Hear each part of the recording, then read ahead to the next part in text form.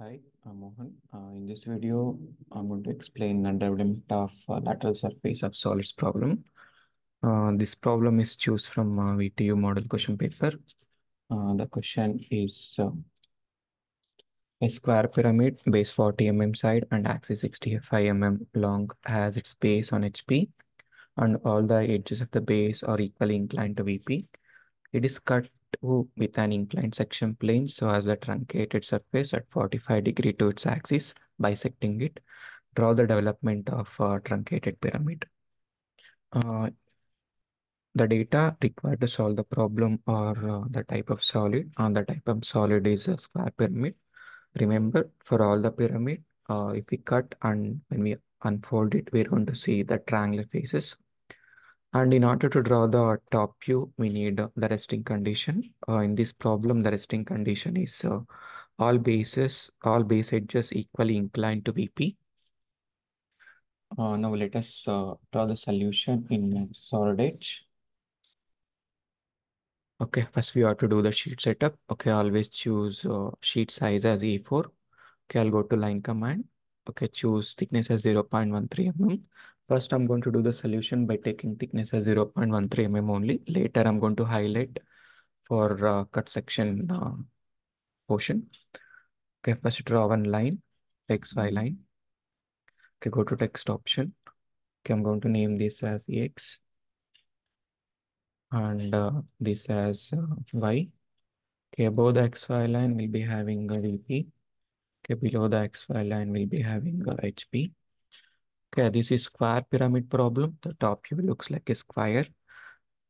First, I'm going to construct the square. Uh, go to macros option or you can construct the square by using rectangle option. Uh, the dimension is 14 to 40. Okay, go to rectangle. Okay, the width is 40 mm and height is 40 mm. Okay, now we have to see the resting condition. Uh, here all base edges are equally inclined to VP. Therefore, we have to rotate this diagram. Go to select option, select entire square. Uh, go to rotate option, select one corner and select the opposite corner. We have to rotate, switch off the copy command. Now go to move option, select that uh, square and place uh, below the XY line.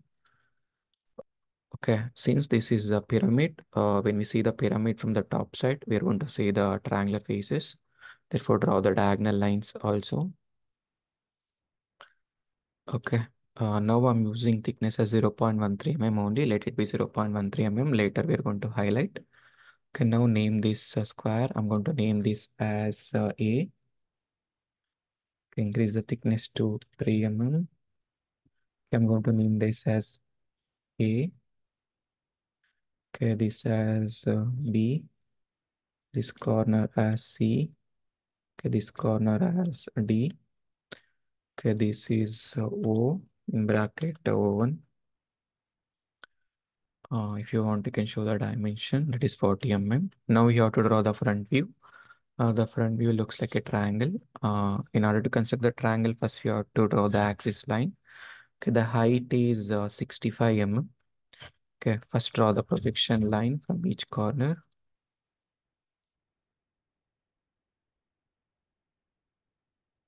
Okay, the axis line height is 65 mm. Okay, from this apex point, draw a line to the end point of uh, each projection line. Okay, the front view looks like a triangle. Okay, now I'm going to name this.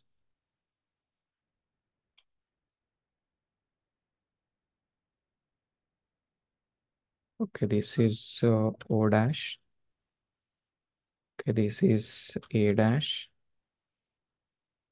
This is uh, B dash in bracket D dash.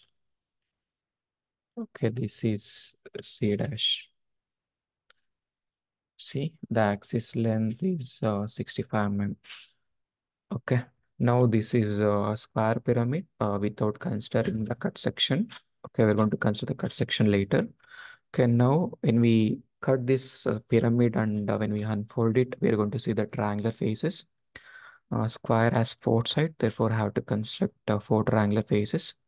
First, let us construct the triangular faces, then we'll see the cut section portion. Okay, in order to construct the triangular faces, we need uh, the slant height length. Okay, the slant height is around uh, 70.89. Go to arc by center point method, uh, choose one reference point. Now draw an arc of 70.89 radius.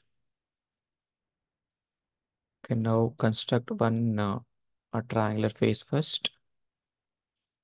Okay, now the side of the square is 40 mm. Okay, by taking this end as a center point, draw one more arc of 40 mm length in order to construct one triangle. Now construct the triangle from this end point to end point of this arc to O. Okay, this is O, apex point.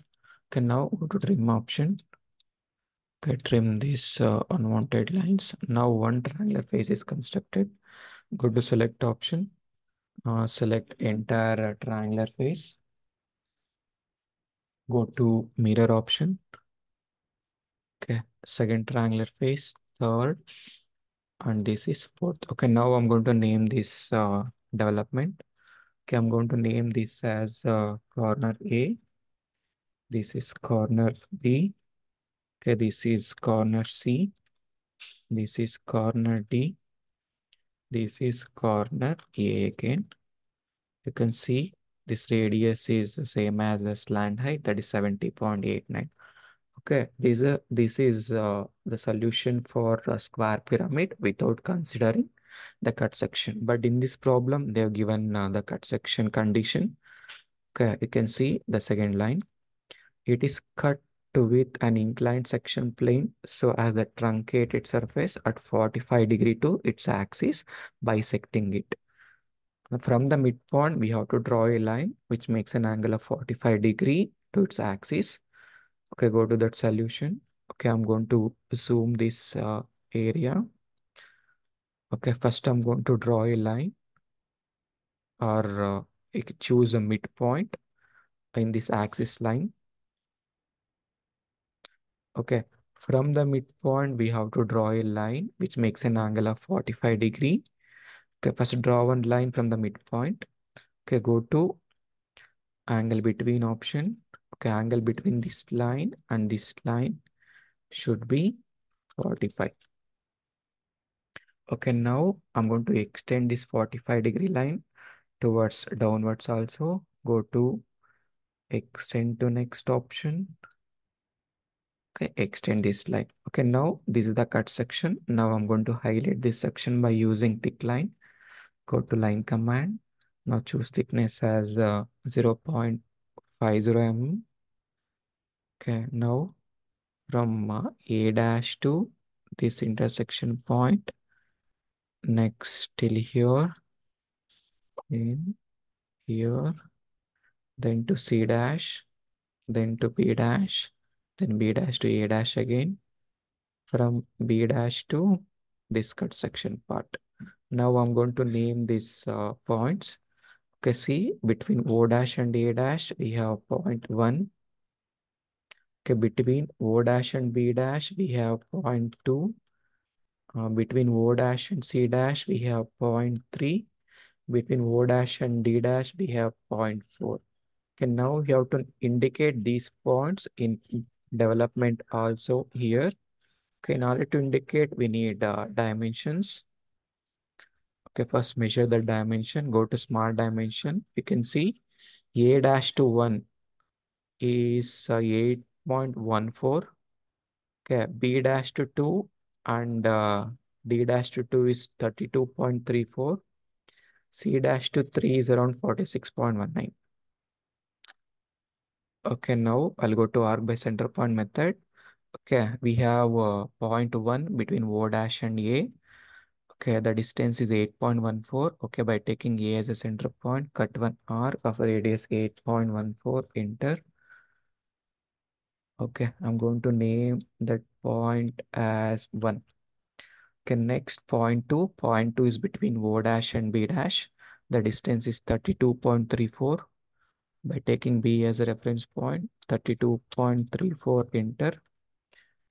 Draw an arc. Okay, I'm going to name that point as 2. Next, next we have uh, point 3 uh, between O dash and C dash. Uh, the distance is 46.19. Okay, by taking C as a reference point, the distance is 46.19. Enter. Cut one arc.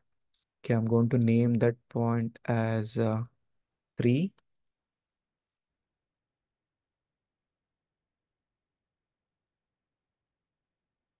We'll do it again that point.